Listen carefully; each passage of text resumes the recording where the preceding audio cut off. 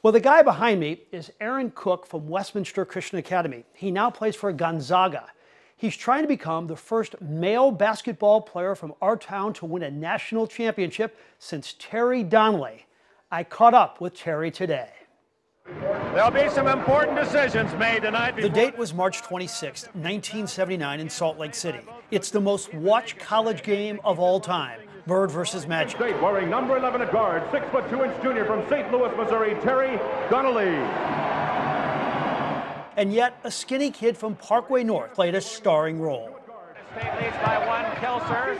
Donnelly shoots rarely, right down the bottom of the well. Larry Bird came up to honor Magic Johnson at a Michigan State event.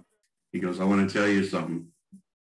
Don't ever let Earvin tell you that he won that game. If you hadn't hit those five shots, we probably would have beat you.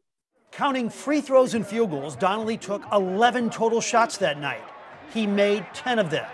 His coach, Judd Heathcote, gave him a warning. Terry, look, your man is going to double on Earvin to keep him from penetrating.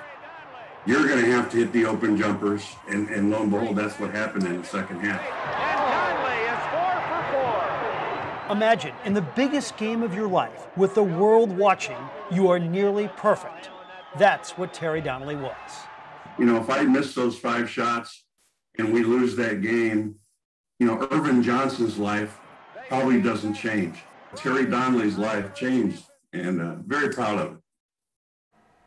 He got a little emotional there, and I would too. What a moment for this young man from Parkway North High School. What a player.